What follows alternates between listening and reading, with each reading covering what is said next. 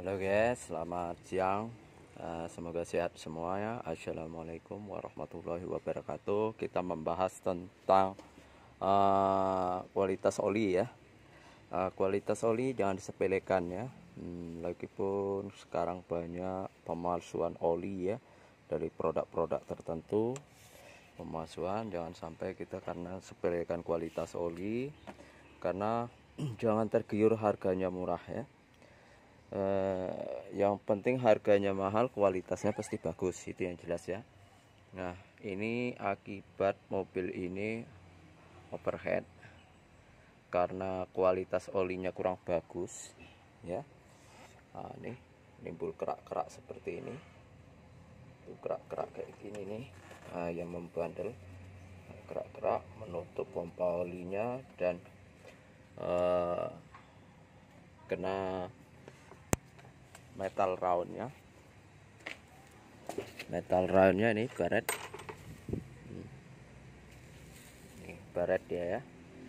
E, karena kualitas oli kurang bagus sirkulasi oli gak lancar jadi membeku seperti ini ya.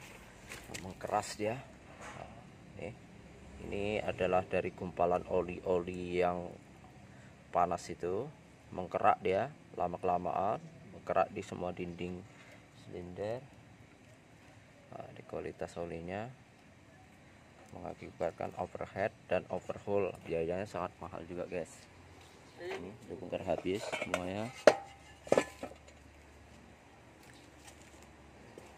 Dah sekian pengulasan untuk uh, tentang kualitas olinya dan jangan di sepelekan ya kualitas oli ya karena berpengaruh faktor mesin ya. Mesin ini ada dua hal faktor air, oli jangan disepelekan. Tidak adanya air bisa overhead dan panas, tidak ada olinya sama juga begitu, bisa jim ya. Ini masih bisa kita cegah ya. Karena udah ada gejala karena mobil ini belum ada hidup lampu engine ya. Jadi gejalanya over overhead, mati mendadak. Ternyata kita bongkar gejalanya adalah perpak backing jet cellnya udah baling uh, terus uh, sirkulasi olinya kurang lancar itu yang faktor kedua ya. Jadi sekian terima kasih untuk pembahasan uh, channel Mas Agus. Semoga bermanfaat. Jika anda menyukai video ini jangan lupa like dan subscribe. Oke terima kasih